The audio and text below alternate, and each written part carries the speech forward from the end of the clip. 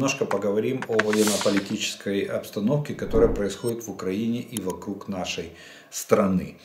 Очень много все оживилось, э, большая волна накатывает, я так понимаю, поднятая Российской Федерацией в плане того, что мир в обмен на территории. Э, Франция с Китаем пытается там какой-то план нарисовать немедленного прекращения огня. Э, другие, ну, мы с вами обсуждали президента Бразилии, который там собирает какую-то когорту, которая там немедленно но в любом случае, еще раз повторю, это российский нарратив. На единственные условия переговорного процесса это полный вывод российских войск с территории Украины. Никакого прекращения огня, только вывод войск. Иначе война, война не будет, цели войны не будут достигнуты, и мы получим с вами еще один этап войны. Он будет намного хуже, чем э, текущий. Итак, а, но для того, чтобы этого не было, и чтобы наше контрнаступление было более удачным и максимально достигло тех целей, которые мы перед ним ставим, перед этим наступлением, а, наши партнеры продолжают передавать нам вооружение. Но то, что три комплекса Patriot пришли и стали на боевое дежурство, это уже позитивно, положительно. Ирис-Т комплекс пришел, это я вам напоминаю просто. Кстати, одна из версий была, что вот эта вспышка над Киевом, это уже работа Патриот. Нет, не, не было слышно взрыва, так что это не Патриот. И Патриот не, не светится таким ярко-зеленым светом. Так вот, Дания и Нидерланды э, совместными усилиями решили поставить Украине еще 14 танков Леопард-2. По меркам натовск, по натовским стандартам это еще одна танковая рота. У них вроде 14 танков. Об этом сообщил министр иностранных дел Дании и исполняющий обязанности министра обороны Дании во время заседания Совета по вопросам международной политики. Они сказали, что это э, дополнительные усилия правительства и, и народа Дании, потому что мы же понимаем, деньги налогоплательщиков вот. Но тем не менее Дания э, и Нидерланды совместными усилиями передают нам еще одну роту танков. Причем это будет отмечено было, что это будет сделано в ближайшее время, так как э, согласие Германии на передачу э, танков Леопард-2 уже у них имеется. Далее, интересное событие происходит на Дальнем Востоке. Э, я вам говорил, что Российская Федерация начала внезапную, ну они начали учения, но она в принципе проводится как э, в форме внезапной проверки боеготовности Тихоокеанского флота. Самый большой, самый старый флот Российской Федерации, который достался в принципе ну, э, в, в наследие от Советского Союза. Несколько пополнения флота за последние 30 лет составили несколько подводных лодок. Э, да, они все атомоходы, две ракеты, э, точнее, две лодки класса Борей, это атомные ракет, э, подводные ракетоносцы. И ранее там был целый парк атомных подводных лодок. Так вот, что самое интересное, что такие, такие корабли, как как флагман флота, а, например, адмирал Лазарев, тяжелый атомный ракетный крейсер, он, оказывается, находился на консервации. То есть на нем даже не было экипажа, а у них там роль флагмана а, ракетный крейсер «Варяг» э, исполнял. Но по данным Министерства обороны России был поднят весь флот и выведен э, в море. Не знаю, снимали они с консервации или нет, скорее всего нет потому что для этого нужен экипаж, и это не дело нескольких часов. Так вот, э, в чем э, загвоздка? Сегодня идет, э, идет уже завершающий этап учений, но вчера пришла весть, флот остался без командующего. Вот такие вот результаты учений. Командующий как в Советском Союзе говорили, э, когда надо было снять с должности кого-то, говорили в связи там, с заслугами переводится на вышестоящую должность или на другую, на другую работу. Так вот, э, командующий вывел флот по тревоге в, в море, а сегодня он уже возглавляет э, патриотическое движение по воспитанию молодежи. Вот так вот повысили адмирала. Значит, Это очень хороший признак. Это говорит о том, что, видимо, на флоте не все так хорошо. Не все корабли могли, смогли, может быть, выйти, а может быть и справиться э, с выполнением поставленных учебно-боевых задач. Так что в Тихоокеанском флоте сняли командующего в Российской Федерации. Посмотрим, кого поставят взамен. И э, следующая новость, это в Украине, в Киеве сегодня э, генеральный секретарь НАТО Ян, Йенс э, Столтенберг посетил Киев. Ну, скажу так, что НАТО это политический визит, это показывает о том, что НАТО полностью на стороне Украины, поддерживает его. Что бы там ни заявляли отдельные члены, все равно принцип единогласности никто не отменял. И та же Венгрия, как бы она ни брыкалась, она все равно поднимает руку и голосует за те решения, которые принимаются в пользу Украины. В том числе. Да, они там целый ряд заявлений сейчас опять делают, что Россия партнер, а Соединенные Штаты э, друг, и они хотели бы и Россию другом сделать, но вот, к сожалению, не могут э, пока что. Поэтому э, вот этот визит Йен, Йенса Столтенберга говорит о политической поддержке сбоку Североатлантического альянса. Я не думаю, что они э, что-то на... Он, э, скорее всего, как говорят, с пустыми руками в гости не ходят, поэтому подарки, конечно же, от НАТО будут, но это, скорее всего, будет гуманитарная помощь и какие-то материально-технические средства. Почему? Потому что НАТО максимально, как блок, как военно-политический блок, они максимально дистанцируются от этого э, конфликта. И я хочу напомнить, э, сразу развеять сомнения, чтобы вы даже не сомневались, э, НАТО как военно-политический блок не, не передала Украине ни одного патрона. Я уже не говорю о пушках, танках, самолетах. Нет, ни одного патрона. Они передавали медицину, они передавали топливо, они передавали пайки, а, вот такие вот гуманитарную, оказывали только гуманитарную помощь. Но из числа первых заявлений а, Столтенберг сказал довольно хорошую фразу, которая которая звучит примерно так, что большинство членов э, Североатлантического альянса видят Украину в составе НАТО. Это очень приятно слушать, и это говорит о том, что ну, нам меньше будет головной боли в плане поиска системы коллективной безопасности після нашей перемоги над российскими оккупантами.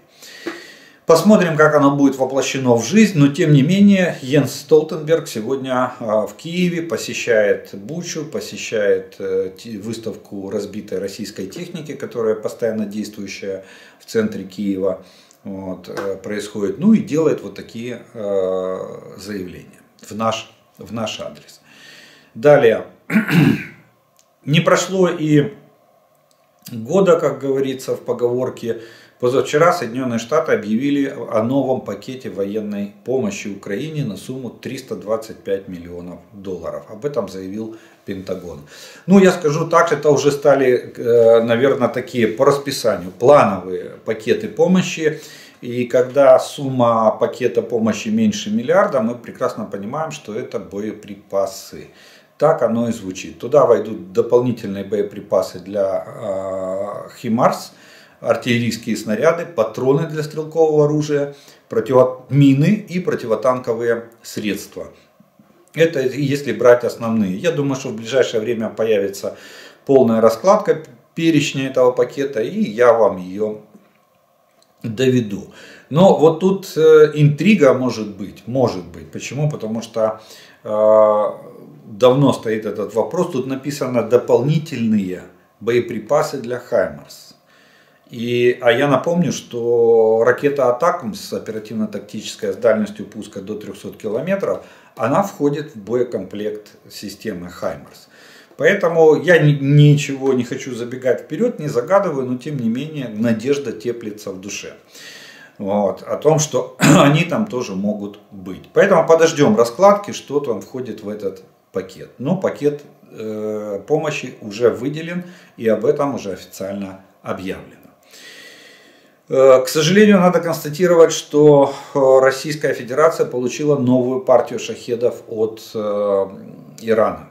И скорее всего, они уже применены, вот этот последний налет, который был, особенно Николаевщина и Одещина, там было определено, по обломкам этих шахедов было определено, что они из новой партии. Мы же все отслеживаем. Каждый номер серийный, каждую, каждую железячку это все собирает, подбирает и все э, идет, документируется. И мы прекрасно понимаем эту ситуацию. Иран продолжает э, поставлять шахеды. Ну, я так понимаю, это в рамках той договоренности на 1700 дронов, которая была достигнута еще в начале, точнее в летом прошлого, прошлого года вот эти поставки до сих пор продолжаются. А, к сожалению, тоже еще не совсем хорошая новость о том, что Франция мутит воду и э, все они там никак не могут определиться, как использовать компенсационную выплату со стороны Европейского Союза по поставкам боеприпасов. Из-за этого задерживают э, эти поставки.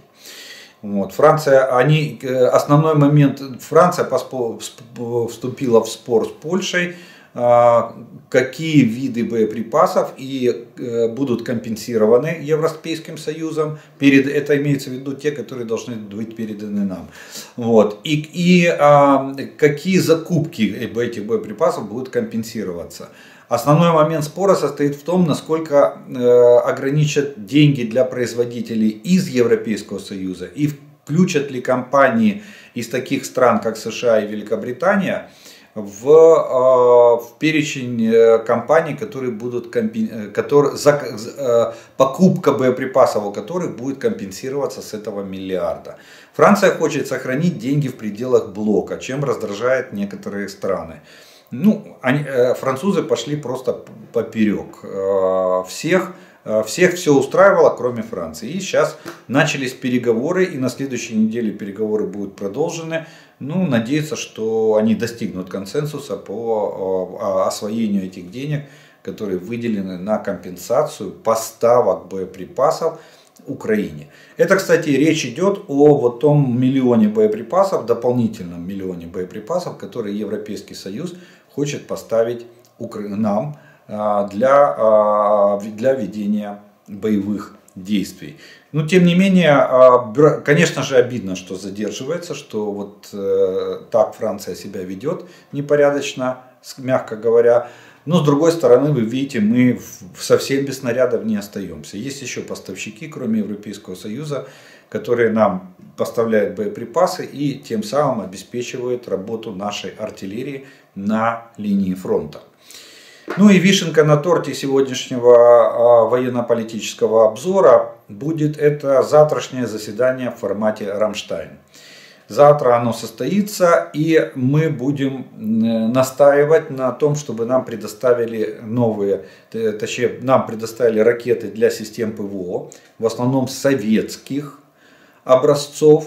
А, у нас возникает, ну, еще не дефицит, но тем не менее, я так понимаю, запасы этих ракет заканчиваются. А ракетные удары, и в том числе и массированные ракетные удары, угроза их не сохраняется – их сохраняется. И э, судя по тому, что уже месяц не было массированных ракетных ударов, Россия могла выпустить где-то до 50 ракет.